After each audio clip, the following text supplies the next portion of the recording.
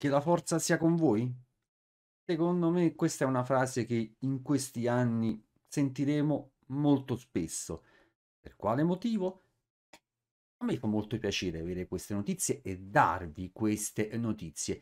È ufficiale che eh, praticamente Electronic Arts e anche Respawn Entertainment stanno lavorando alla bellezza di tre, e dico, tre giochi di Star Wars. Questa è praticamente una grande notizia, perché per chi è amante un po' della serie, per chi è un po' amante eh, di eh, personaggi, serie lunghissime di eh, Star Wars, sono buone notizie, ma mh, mm, andiamo con ordine, cerchiamo di capire quali possono essere questi giochi, visto che comunque eh, titoli non ce ne sono, però ci hanno detto di cosa si tratta. Vabbè, il primo è facile, perché obiettivamente già si sa che eh, Respawn Entertainment sta già lavorando da un bel po' al seguito di Star Wars Jedi Fallen Order 2 che dovrebbe uscire in teoria fine anno, inizio anno 2022-2023.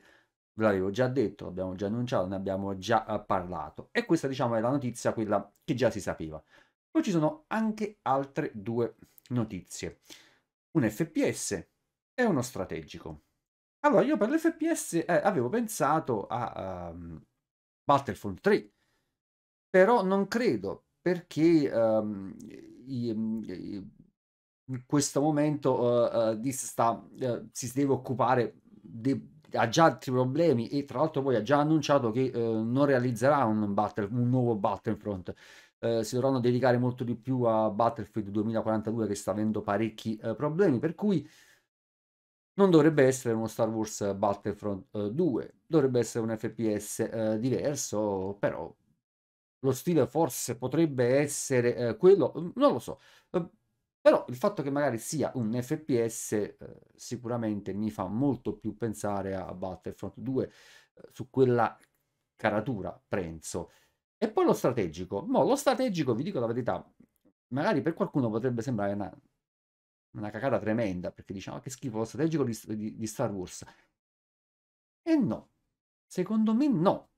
Un nuovo team, uh, si chiama uh, Bit uh, Reaction, mi pare di aver letto che si chiamasse Bit Reac- Reactor, questo nuovo team che però ha già veterani che lavorano a questo nuovo team, quindi è, è nuovo ma relativamente, uno strategico su Star Wars, ok, sia, sì, si sa, magari sono serie che su YouTube non vanno bene, però magari per chi è amante della serie, non mi ricordo sinceramente uno strategico uh, Star Wars uh, che la memoria n- non mi inganni. Però secondo me um, io sono un amante degli strategici, per quanto cerchi di portarlo su YouTube ma hanno poco effetto, però secondo me potrebbe essere una buona notizia se fatto bene, naturalmente, perché mi rendo conto che sugli strategici bisogna lavorarci parecchio per non essere uh, noiosi.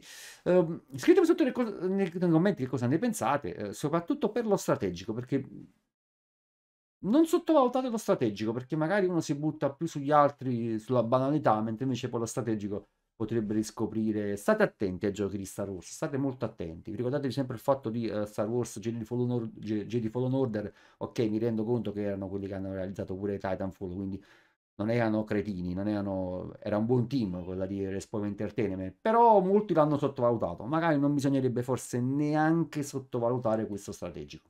Vediamo se al prossimo video. Bye.